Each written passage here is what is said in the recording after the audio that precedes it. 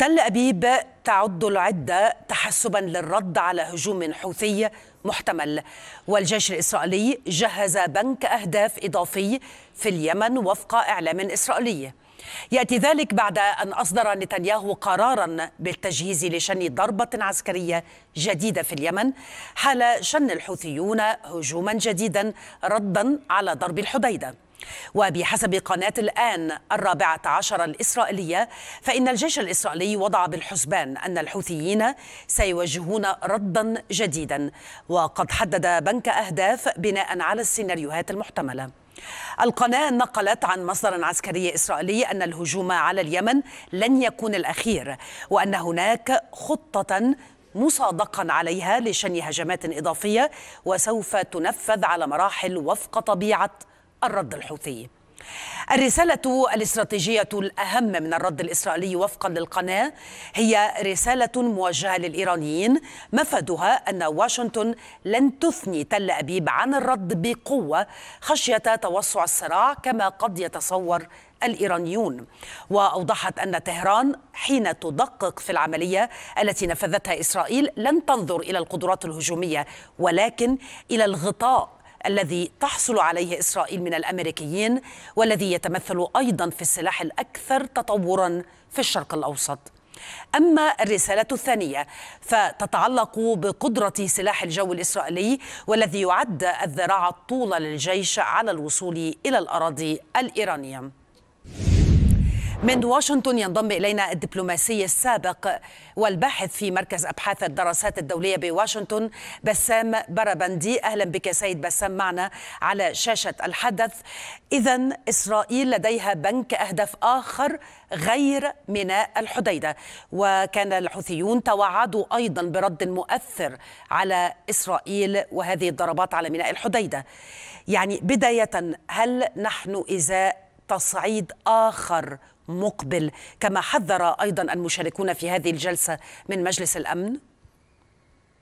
يعني للأسف عندما استمع كلمات مجلس الأمن أعضاء مجلس الأمن مع التقرير اللي تقدمتي فيه حضرتك بتحسي كل المنطقة كلها نار. يعني ما في ما في ما في أمل ما في بارقة أمل باستقرار أو بهدوء. يعني الإسرائيلي أكيد جدي بقصف مواقع جديدة في اليمن والحوثي. أعتقد أنه جدي بأنه سيحاول إعادة قصف إسرائيل أو بعض المناطق المدنية في إسرائيل. وهذه دائرة دائرة مفرغة يعني. بعدم وجود حل سياسي لكل الأزمات بشكل مترابط بشكل أو بآخر سنبقى في هذه الحلقة المفرغة، إسرائيل لديها القدرة كما تفضل تقريركم الجوية والعسكرية والتقنية أن تصل لكل أعدائها سواء كان إيران أو الحوثي وسمت العملية اليد الطولة وكانت الرسالة أيضا لإيران. وهنا سيد بسام يعني يبدو أن الهجمات الإسرائيلية أو الضربات الإسرائيلية على ميناء الحديدة لم تؤثر بشكل كبير عسكريا على الحوثيين ولكنها أضرت بالمدنيين. فأهمية هكذا ضربات الآن لم تؤثر بل بالعكس يستفيد منها الحوثيون الآن في خطابهم. شوفي صحيح هو هو هو هو نوعين من هالكلام. كلامك صحيح يعني الإسرائيلي بداية يعني المدني اليمني أو المدني السوري أو اللبناني هو الذي يتأذى من ما تقوم به إسرائيل. الحوثي كلما يتم قتل اليمنيين أكثر وتدمير أكثر لمناطق المدنية يعتقد بأنه يستطيع أن يستوعب أعداد أكبر ويساعد على تجيش الناس أكثر معه ولقضيته ضد الإسرائيلي. مرة أخرى الإسرائيلي غير معني بما يقوم به الحوثي بالمعركة الداخلية.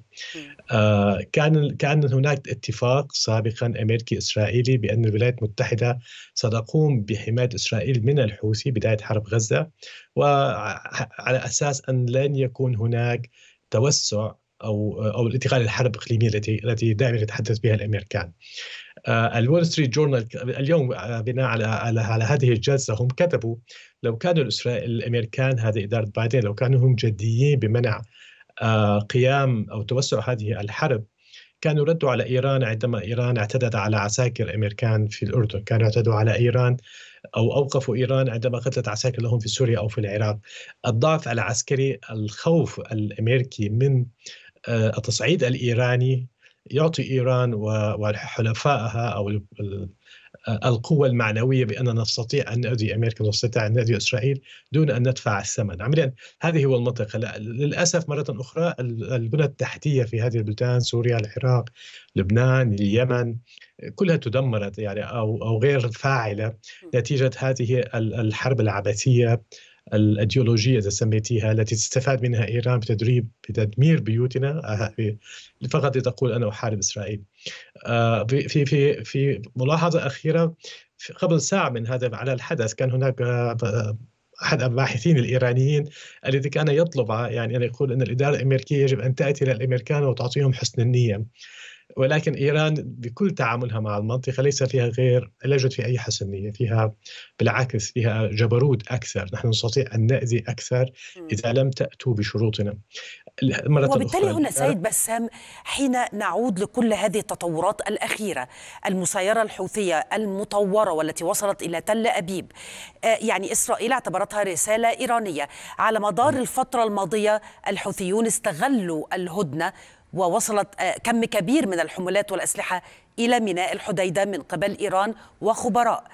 يعني هل يفهم بأن كل ذلك جرى التحضير له حتى نصل إلى هذه اللحظة كما تقول بأن إيران هي التي تضغط؟ إيران تضغط تستفاد من كل شيء حتى تقوي موقفها التفاوضي مع أمريكا يعني أذكر مرة ثانية ظريفي وزير خارجية إيران السابق هو كان يقول بأن اختلافنا كان مع أمريكا على تقاسم النفوذ في الشرق الأوسط في منطقتنا يعني. هذا كان جزء رئيسي من الخلاف الأمريكي الإيراني. آه، وبالتالي إيران ما تستفيد منه اليوم بتقوية هذه الحوثي حزب الله الجيشات الشيعية نظام بشار الأسد. هي فعلا فرض مرة أخرى فرض عضلات إيرانية ضد إسرائيل. إسرائيل تقصف مناطقنا العربية تقتل العرب. ولكن لا أحد يقترب من إيران يعني حتى الخزعلي أحد القادة الإيرانيين العراقيين في في في العراق هو قال على أحد وسائل الإعلام بأن نحن إيران تقصف الأمريكي والأمريكي يقصف العراق يعني هذه معادلة غير رسمية. أعتقد مرة أخرى يعني يجب أن يكون هناك بغياب حل سياسي حقيقي. لن يكون هناك هذه الإدانات وهذه الجلسات لن تؤدي إلى أي نتيجة. يعني اليوم آه، الولايات المتحدة وفرنسا وبريطانيا هم تحدثوا تماما كما كما ذكرت الرسالة الإسرائيلية مجلس الأمن. ادانه إدانة الحوثي آه، فرض بوتنشال عقوبات عليه وتهدئه تهدئه المنطقة حتى لا يكون هناك تفجير أكثر. اليوم سنسمع على قليل الروسي والصيني لن يكرر هذا الحديث. سيتهم الأمريكان بأنكم أنتم من تزتون الزيت على النار يعني أنتم الذين قصفتم الحوثي بداية وعليكم إيقاف غزة. الدول الباقية سيتكلمون عن الموضوع الإنساني. ليس لهم علاقة بالحرب الدول العشره الباقية. عمليا هذا هو التوازع ولكن الأساس الحقيقي أعتقد بأنه بغياب إرادة سياسية حقيقية لحل نزاعات اليمن، سوريا، غزة. دائرة العنف آه، والتطرف الموجودة في المنطقة يعني هي هي الغالبة للأسف. يعني نتنياهو بتطرفه وبعدم رغبته بحل غزة بوقف إطلاق النار يغذي الحوثي وحزب الله وبشار الأسد وإيران نعم. وحركات الشيعية طبعا الولايات المتحدة المنشغلة الآن بهذا الصراع الانتخابي الذي يشتعل أكثر وأكثر بعد انسحاب بايدن. آه يعني كيف ستتعامل مع هذا الملف سواء المتعلق يعني بوقف إطلاق النار في غزة ونتنياهو ذاهب إلى واشنطن وأيضا على رأس المطالب لنتنياهو أيضا هو ملف إيران؟ شوف اعتقد هذه الاداره ستكون ضعيفة يعني بطبيعة الحال. الرئيس مختفي يعني هو ملفت للنظر أن الرئيس اختفى بعد أن أعلن أنه لن يستمر بالحملة الرئاسية. اختفى لا أحد يعرف. حتى هناك بعض النكت هو يقول أنه قد لا يدري أنه آه، يعني آه، أنه ليس ليس هو موجود في الحملة الانتخابية. قد يعود مرة أخرى يقول أن الرئيس سيستمر بكل الاحوال بغض النظر ما سيكون في البيت الأبيض من الآن حتى الشهر واحد ليس يعني إدارة ضعيفة يعني ستكون مستهلكة داخليا مستهلكة انتخابيا ليس لديها الصورة القادرة أن تقود العالم.